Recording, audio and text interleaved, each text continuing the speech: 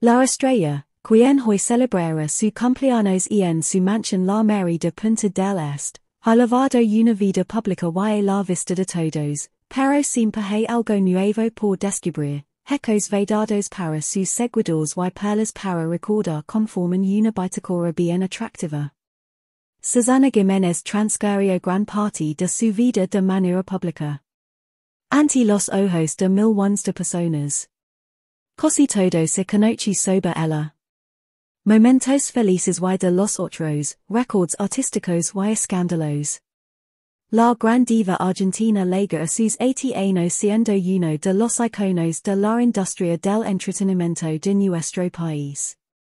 Sin embargo, algunos datos sobre su privacidad y también sobre carrera han sido poco difundidos o directamente han estado vedados para la opinión pública.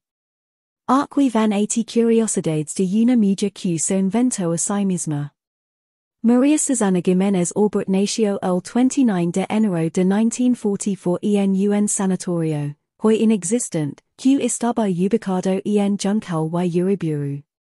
Su abuelo Alberto la lavaba al cine diariamente, fu la semilla que germinó en ella la pasión por el espectáculo.